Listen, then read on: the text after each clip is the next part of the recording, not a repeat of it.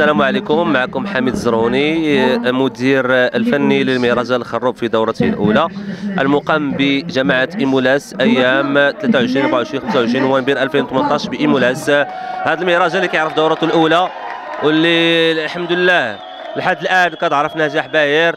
وهذا بشهادة الجميع بشهادة الحضور المتواجدين معنا هنا.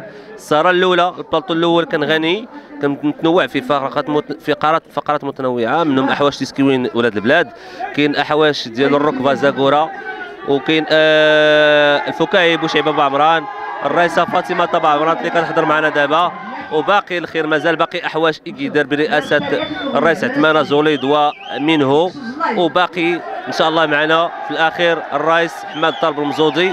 هاد الدورة اللي كنتمناو منها أنها تكون نجح باش تعطينا تعطينا دورات اخريات اللي بغينا نركز عليه في هذا الحوار هو الناس عندهم فكرة غلطة على المهرجانات. مهرجانات شطيح رديح لا. فيها فيها الثقافي فيها الفني وفيها التنموي لأن هذا المهرجان جاب مشروع كبير اللي هو مشروع تنموي اللي غادي يعرف تعرف الساكنة القيمه تاعته من بعد.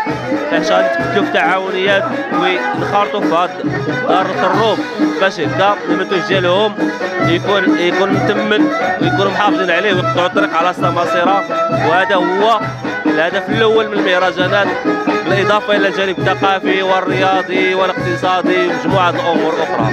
فكنحيي جميع المنابر الإعلامية اللي حاضرة معنا هنايا. كنحييهم لأنهم لولاهم هما.